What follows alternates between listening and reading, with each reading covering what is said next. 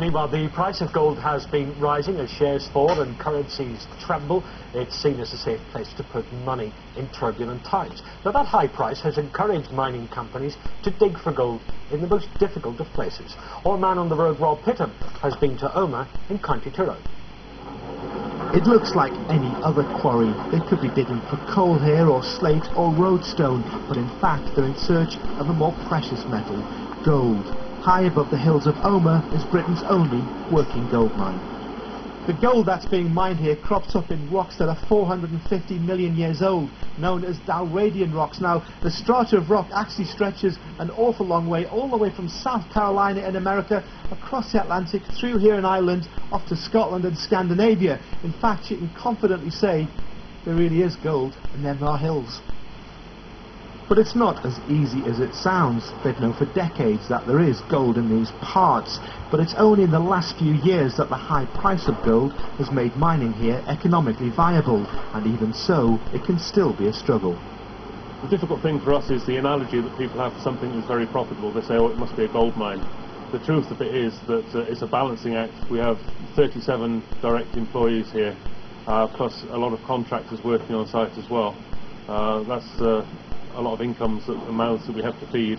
Uh, our diesel bill for running all the equipment you can see around here, uh, we're spending a, a, great deal of money on, on diesel. So, of course, the, the falling oil price is another factor in our, our profitability.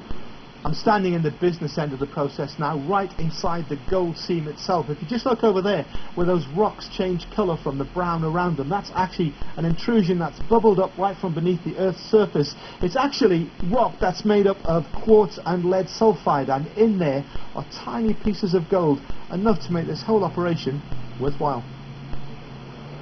The ore is passed through giant crushers. It's then run through liquid, and high pressure bubbles are passed through. The sulfides, including the valuable gold traces, stick to the side of the bubbles, although at this stage it's more like mud finger than gold finger. And this is the finished product. It's basically a big bag of minerals. In here we've got lead, silver, iron, and of course it's about 1% pure gold. In fact, out of this one ton bag, there's probably enough to make maybe 20 wedding rings at the most. But if I put my hand in here and just move it around in the light like this, you can see the gold glistening away the bags are then sent to a smelting company in Canada to be turned into pure gold. The mine's not universally popular though. It took one of Northern Ireland's longest planning inquiries before quarrying could go ahead. The company insists it will restore the site and is sticking closely to its planning regulations. Mining here could last for decades if the gold vein is followed underground.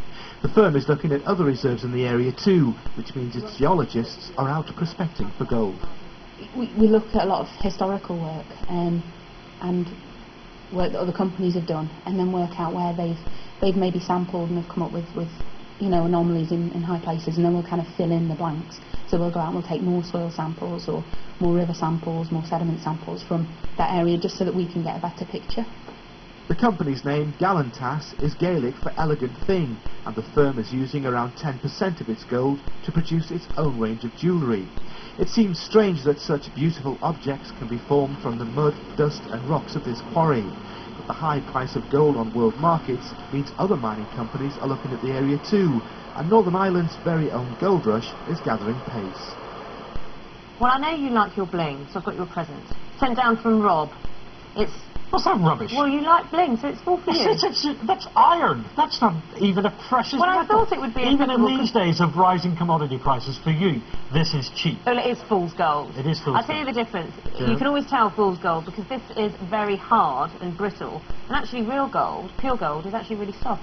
It's crumbling, it's breaking off already. What tricks people, of course, is the sort of the reddishness around it, and that is probably some sort of iron oxide, but I'll stop talking now. I want to know more about your hair.